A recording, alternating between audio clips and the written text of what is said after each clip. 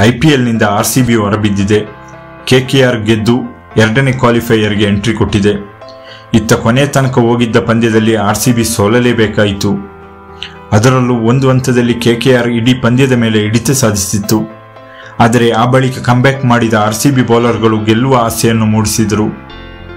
ಅದರಲ್ಲೂ ಕೊನೆಯ ನಾಲ್ಕು ಓವರ್ಗಳಲ್ಲಿ ಆರ್ ಸಿ ಬಿ ಬೌಲರ್ಗಳು ಭರ್ಜರಿ ಹೋರಾಟ ನಡೆಸಿದ್ದರು. ಈ ಭರ್ಜರಿ ಬೌಲಿಂಗ್ ಬಗ್ಗೆ ವಿರಾಟ್ ಕೊಹ್ಲಿ ಮೆಚ್ಚುಗೆ ಸೂಚಿಸಿದ್ದಾರೆ. ಇದಾಗಿಯೂ ಆರ್ಸಿಬಿ ಸೋಲಿಗೆ ಕಾರಣ ಯಾರು ಎಂಬುದನ್ನು ಕೂಡ ವಿರಾಟ್ ಕೊಹ್ಲಿ ತಿಳಿಸಿದ್ದಾರೆ.